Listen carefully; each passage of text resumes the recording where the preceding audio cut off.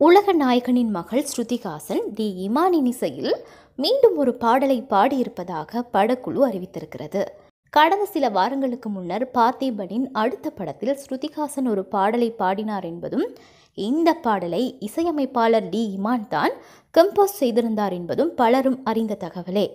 இந்த நிலையில் இது குறித்து டி இமான் தனது சமூக வலைத்தளத்தில் ஸ்ருதிகாசன் எனது இசையில் மீண்டும் ஒரு பாடலை பாடியது தனக்கு மிகவும் மகிழ்ச்சி என்று தெரிவித்துள்ளார்.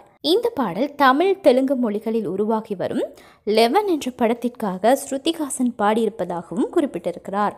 அது மட்டுமில்லாமல் இந்த படத்தின் மோசன் போஸ்டரை ஸ்ருதிகாசன் தனது சமூக வலைத்தளத்தில் வெளியிட்டிருக்கும் நிலையில் இந்த படத்துக்காக அவர் ஒரு பாடலை பாடியிருக்கின்றார் என்ற தகவல் ரசிகர்களுக்கு மகிழ்ச்சியை கொடுத்திருக்கிறது. இதனை பார்த்த ரசிகர்கள் தந்தை கமல்ஹாசன் அவர்களைப் போலவே மகள் ஸ்ருதிஹாசனும் சகலகலா வள்ளியாக விளங்குவதாக பல்வேறு கருத்துக்களையும் பாராட்டுக்களையும் குவித்து வருகின்றனர்.